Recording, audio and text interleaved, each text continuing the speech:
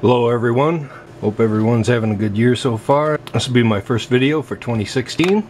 This is a power meter produced by P3 International. It's called the Kill A Watt EZ. This is a model P4460. One of the things I noticed right off the bat, there is no cat ratings on it. You can see here it's rated for 115 volts. Max voltage 125, max current 15 amps, 1875 VA. Go ahead and open this thing up. Looks like it comes with about a 8-page manual. It's written in English. One of the things when I look through this manual is there's nothing about the accuracy of the unit. They do have a manual available online and that manual actually does call out the accuracies. The RMS voltage and current are both rated at a maximum of 1%. However, the online manual doesn't say if that's plus or minus 1. It doesn't say it's a reading or a full scale. There is no detailed information about what that is. They claim a maximum of 2% error for watts, 2% error for VA, and 2% error for the frequency.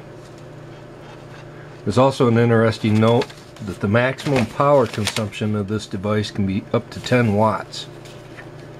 This is a Lenovo tablet that I use for testing. This tablet's currently connected to the LeCroy scope through a wireless connection and the scope is connected to our power monitor box. You can see it's reading a negative 18.6 real watts. That's because the current sensor is not turned on. So here's the first problem can see it's not designed to plug into a switched outlet like this. So we're going to turn on the LEM transformer. And let's just see if this thing will fire up. 119.5. The scope is reading 119.18. Uh, it's definitely a discrepancy between these two.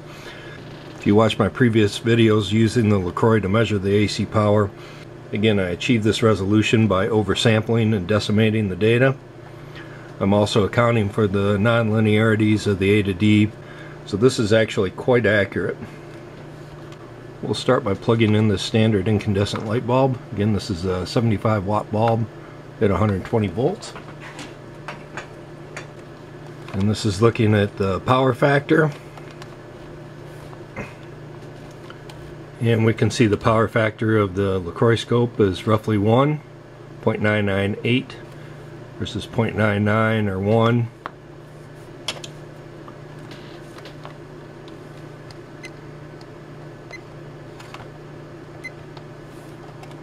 Again, the voltage is 117.4 versus 117.7. Amps is 0.58 versus 0.593.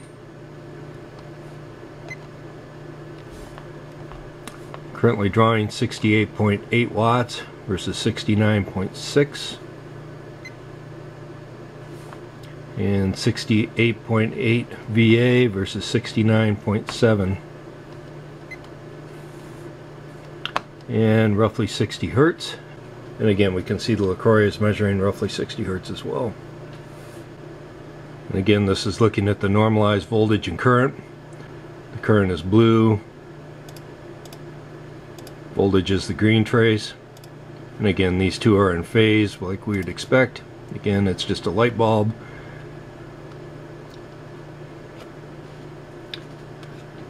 And we can see that in this plot.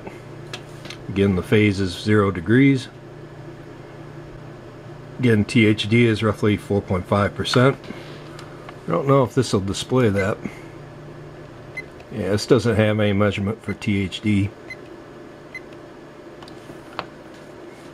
And again, the majority of the harmonic distortion is due to the incoming line. This bulb is rated for 26 watts, 120 volts AC, 60 hertz, 390 milliamps. This is the largest CFL I have. We'll go ahead and install that in the socket. See the Kill A Watt is reporting 280 milliamps. The RMS current reported by LeCroy is 300 milliamps.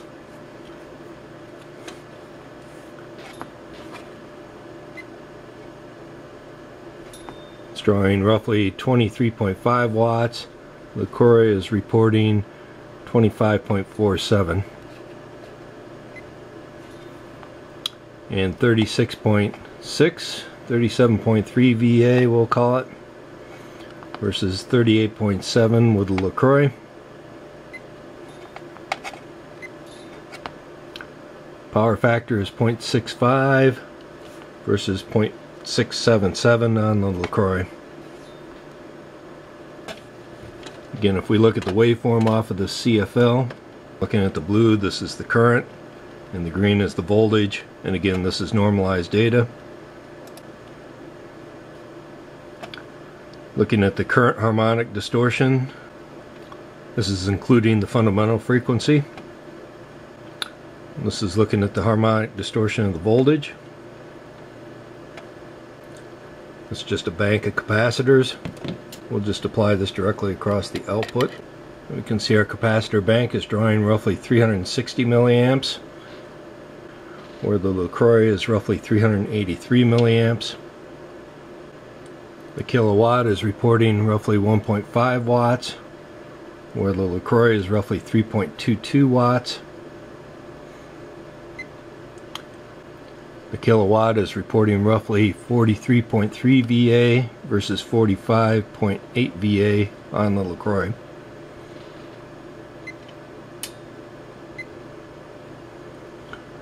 Power factor is roughly 0.03 on the Kill A Watt and roughly 0.074 on the LeCroy.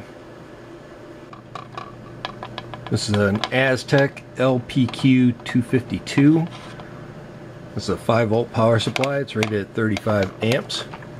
You can see here I just have four 4 ohm resistors or a 1 ohm resistor as an output load. This will be drawn roughly 5 amps. We can see the Kill A Watt is reporting a power factor of 0.97 versus the LeCroy at 0.98. If we look at our signals in time domain, you can see it looks uh, pretty much right. This power supply has a very good power factor correction built into it. You can see the Kill A Watt is reporting 55 VA versus 56 for the LeCroy. And 53.9 or 54 watts versus 55 watts on the LeCroy.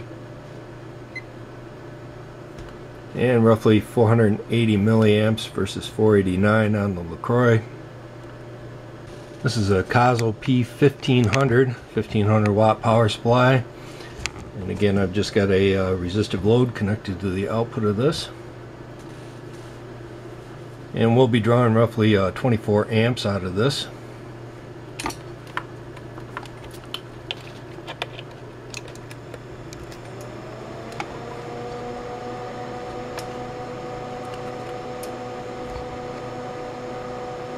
See the line voltage has drooped down significantly. It's roughly 113 versus 114 volts. Shows it's drawing roughly 7.8 amps versus 7.6 amps on the LeCroy.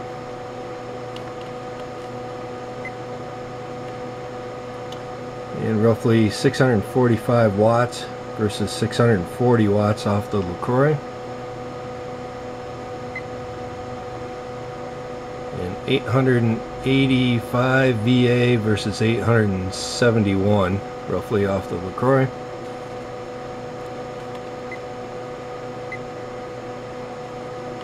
Power factor is 0.7273 versus 0.735 off the LeCroy. Looking at the data and time domain. Again, the blue is our current and the green is the voltage. So yeah, it's a pretty impressive little unit. I think I paid less than $30 for this. Let's just have a look on the inside of it.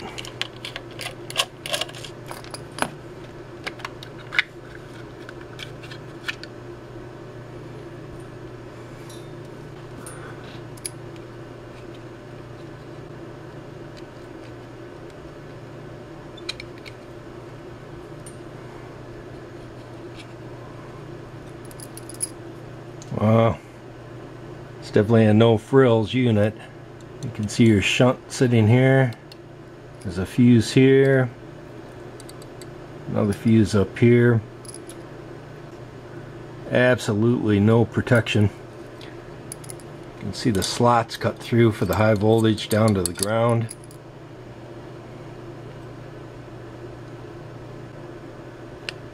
There's quite a bit of flux residue on it. Yeah, not much to it.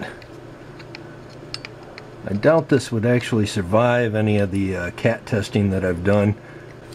Of course, those are all at uh, cat 3 levels, so again, this thing is probably rated for cat 2 levels at best. It's supposed to just sit inside of your household plugged into an outlet. Hmm. But if you're looking for a way to measure AC line voltage,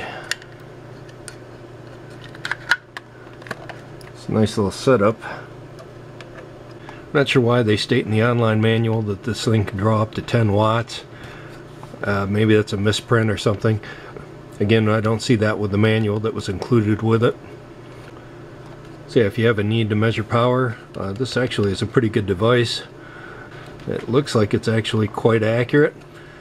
So I like the unit. It's uh, fairly feature rich. The fact they can read uh, power factor, RMS current, RMS voltage, it's a pretty good way to measure what's going on with your line. With the various loads I've tried, it looks fairly accurate. I'm pretty impressed with it. Maybe we'll try to hit this thing with a surge test at some point and we'll see if it can survive any of that. So hopefully you found the video useful. Till next time.